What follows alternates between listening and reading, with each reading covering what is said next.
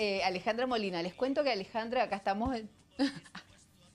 claro, Alejandra eh, es, licenciada en parapsicología, pero la verdad que hace todas las terapias alternativas, tiene una santería y hace 35 años que está en esto, así que sabe un montón, así que a ella le venimos a preguntar. Lo primero que le vamos a preguntar por el martes 13, ¿es verdad que es de mala suerte? ¿Qué, qué tiene de bueno? ¿Qué tiene de malo? ¿Qué hay que hacer? Hola Ale, buen día. Hola Marcela, buenos días, buenos días a la audiencia. Bueno, martes 13, a ver, la connotación negativa. El martes 13 es yeta, es el día de mala suerte, no te cases ni te embarques, no tomes decisiones, es netamente un mito. El 13 no es la yeta, eh, el 13 está muy relacionado, eh, tomémoslo desde la parte religiosa, eh, con los 13 apóstoles, este, este apóstol que traiciona a Jesús. El 13 también está relacionado mucho en la numerología con el dígito 4 y el 4 es el esfuerzo.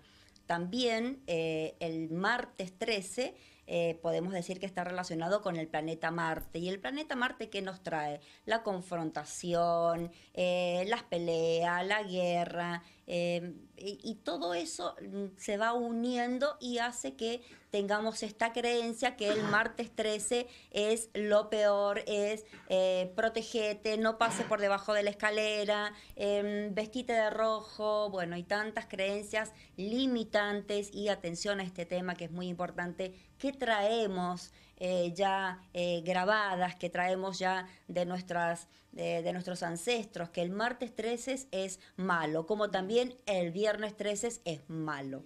Eso sería eh, diga- lo popular, digamos. Ahora, de- en cuanto a lo positivo del martes 13, del, del número y del día, Bueno, en positivo tiene muchísimo. De hecho, para algunas regiones y culturas, por ejemplo, tenemos la, la- la cultura de los mayas, es un como un día bendito el martes 13, porque es, eh, eh, es eh, cuando se completan las 13 fases lunares para los mayas.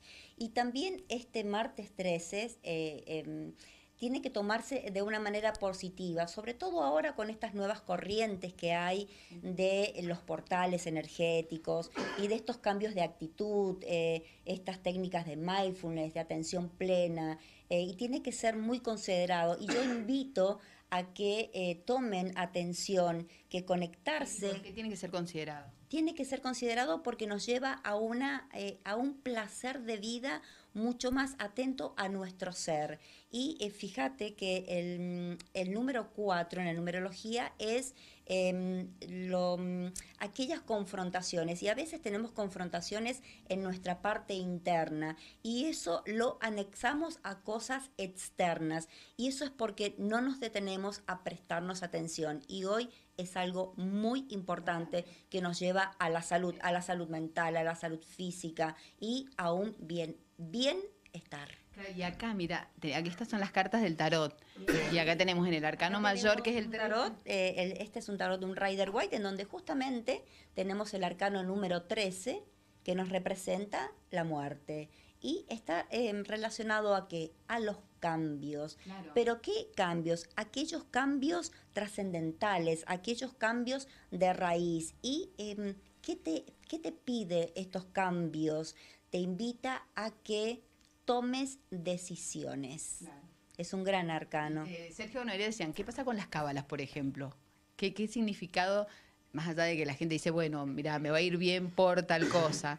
¿Qué, son las cábalas? ¿Sirven, no sirven? Bueno, las cábalas son aquellas cosas que em, la misma intención y la misma energía de la persona hace que te aferres. Por ejemplo, y te colgas un, te pones una pulserita y justamente ese día te pasó algo malo o tuviste una discusión y eh, automáticamente la persona piensa, ah, no, la pulserita me trajo mala suerte o esta cadenita me trajo mala suerte y te la sacás. Y no es así, porque es a como vos lo intenciones, eh, es a, a la intención que, que la persona le da. Es muy importante conectarse con eso. Eh, Alejandra, te invito a que escuchemos a la gente. Salimos a la calle y le preguntamos a los mendocinos. Esta mañana estuvimos ahí en el parque porque se casaba una pareja en el registro civil. La única pareja que dijo, me caso en la provincia. Por las dudas fue una sola. Y bueno, salimos a la calle y también le preguntamos a la gente qué piensan de este día y nos decía lo siguiente. Dale, lo escuchamos. Pregunta, ¿creen el martes 13? No, no su- supersticioso. No, no, nada, nada. Aparte, Ni cuando era joven, creo. No, no creo mucho en esas cosas. Eh, para mí es un día normal, nada más. Sí, si me casaría, sí. Lo que sea. Martes 13. ¿Qué decís? Ah, un día más, el calendario. Ni más ni menos. Nada, buena suerte, estamos acá de paseo, así que lo, lo mejor. ¿Te casarías un martes 13? Yo me casé hace 36 ¿Y te años. volvería a casar? Me casaría cualquier día. Mira, vinimos de viaje, recién bajamos del avión, ahora estamos pasando por acá, así que la superstición para nosotros no existe. Martes 13 para vos un día normal. Para mí es un día normal y estamos de paseo acá en Mendoza disfrutando, así que hermoso martes 13. Un día normal como todo. Nunca me ha pasado nada esos días, así que para mí es lo normal. Una alegría muy grande porque el 13 de septiembre nació mi hijo y el 13 de abril nació otro hijo mío. Y el 13 de marzo los Ah, casamos. nos casamos. Ah, el 13 de marzo se casó. 13 de marzo. Para muchos dicen que significa mala suerte, pero para mi familia significa buena suerte. Porque ese día se casaron mis papás. Entonces, no sé, quedó ahí buena suerte cada vez que quieren hacer algo, emprender algo, el martes 13. ¿Alguna superstición? Por ejemplo, lo de la escalera, el gato negro, no te den la sal en la mano. Sí, eh, pasar por abajo una escalera, por ejemplo. Nunca lo haría. Nunca lo haría. Yo prefiero chocarme con todo antes de que caerme, que, que me pase algo por la escalera. ¿Qué no harías o qué crees que te puede dar mala suerte?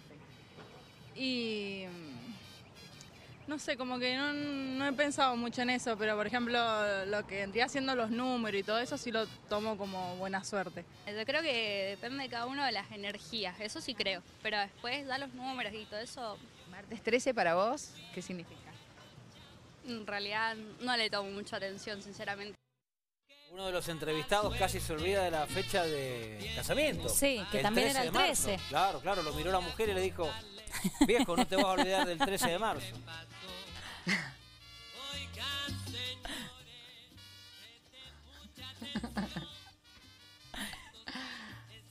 Sí, tal cual. Eh, bueno, y el tema es que la mayoría de la gente no, no cree, digamos, no cree que sea de mala suerte, por lo menos los que consultamos nosotros. Así que bueno, ¿ahí me escuchan chicos, sí? Sí, perfecto, Marce, dale.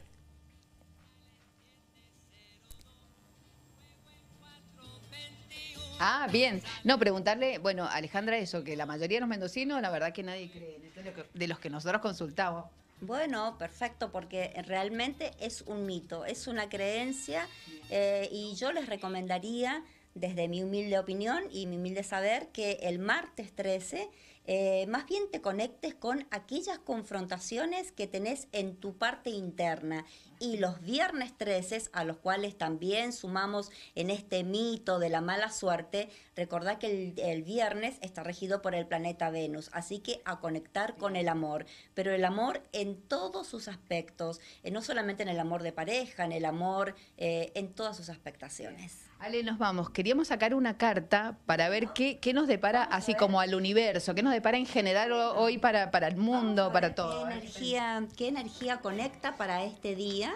eh, en donde, bueno, hay tantas cosas que, que rever y tantas cosas que acomodar en Estamos estas creencias que vienen de, pero que en realidad no existen. A. Vamos a ver la, la ¿Qué nos depara el futuro? Bueno, la energía de la llave. La energía de la llave te indica que te atrevas, que te atrevas a abrir nuevos caminos Animate y que luches por aquellas, eh, por aquellas ideas, por aquellos eh, proyectos que tenés eh, en mente. La energía de la llave te indica abrí tus propias puertas a tu manera y a como vos lo sentís. Ah, me encantó. Me encantó Mirá a qué lindo también. final. Gracias, Ale. No, de nada, gracias a ustedes. Bueno, ahí le dejamos así. eh, mira, me voy con la energía de la llave para todos los mendocinos, así que Buenísimo. hoy que sea un día para que cada uno busque su llave y pueda abrir esa puerta que necesita para solucionar cositas. Gracias. Así que bueno, me Gracias, encantó. Marce. Chao, Marce. Te A vemos la en regalo. ratito.